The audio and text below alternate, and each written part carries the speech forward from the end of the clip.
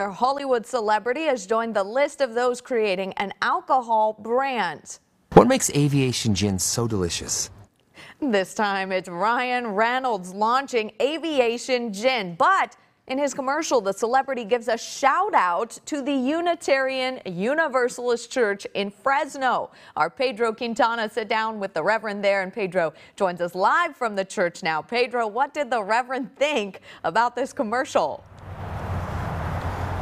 Well, Megan, Reverend Tim at Kutzmark was laughing uh, about this tongue-in-cheek commercial. This video was released just yesterday and has already gained over 2 million views. Take a look. What makes aviation gin so delicious? Leave it to Deadpool actor Ryan Reynolds to make a liquor ad funny. Millions of people seen the Aviation Gin commercial across several social media outlets. Reynolds bringing dry humor to his Aviation Gin that can be used to make a dry martini.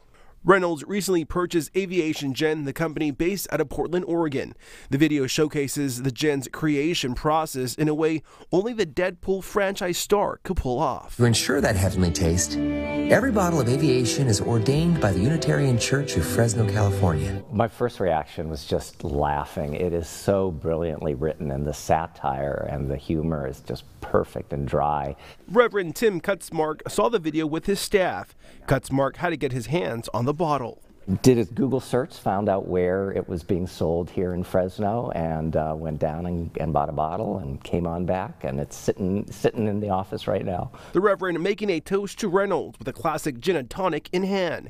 Kutzmark says he hopes this positive exposure will bring people to check out his church. A lot of people appreciate that that we're we're not like stodgy and serious, but we're willing to laugh laugh at ourselves and laugh with him. Before it departs home serenaded with the healing music of Sarah McLachlan. And Kutzmarks did send back a video response to Ryan Reynolds, inviting him to Fresno and possibly hosting a gin party here at the church. So far, we don't know if Ryan Reynolds will accept the invitation, but we can only hope. For now, we're live here in Northeast Fresno. Pedro Quintana, Megan, back to you.